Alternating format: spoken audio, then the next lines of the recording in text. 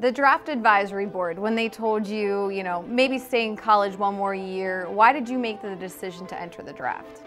Uh, honestly, I felt it was a personal decision. I felt I was mature enough, especially with uh, the help of my position coach, Coach Grimes. And honestly, I just thought about it after the season, talked about it with my mom and my uncle. That was the best decision to do, so I followed through with it. Did you ever, you know, maybe get a little nervous as the draft was coming closer? Maybe you were reading things about, you know, yourself in papers before?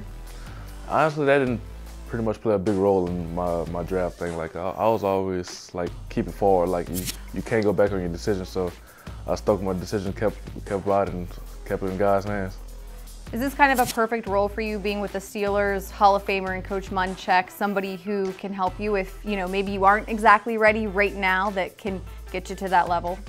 Oh, honestly, I felt great with dealing with Coach Munchak. I felt I feel at home, honestly, especially with his help. Like from his from his career and all his stats, like he's a perfect man for the job. I felt like and felt perfectly with the the draft pick. What was your interaction with the Steelers prior to the draft? Uh, I felt it was honestly similar to LSU. Like everything around the atmosphere around here from Pittsburgh, like there's a strong fan base, and they just love their football here. It just felt like it felt like I was back at uh, LSU, honestly. Like to run the ball a lot too. Definitely, very much, very similar offense. Like they still huddle a little bit too, so it felt in perfectly.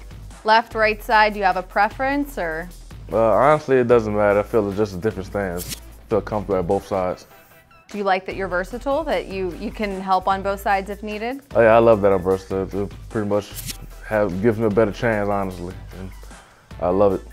What's the best advice you've been given so far from anybody in the organization of just how to kind of transition into the league? Honestly, it's a mature league, and uh, just to stay humble. Like either you're not humble or you're big-headed, you will get humble soon. So just stay humble and always work hard. What do you think so far of the the group?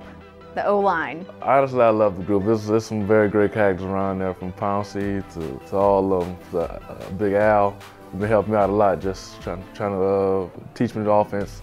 It's been going well. What did you know about the Steelers offense prior to coming to Pittsburgh?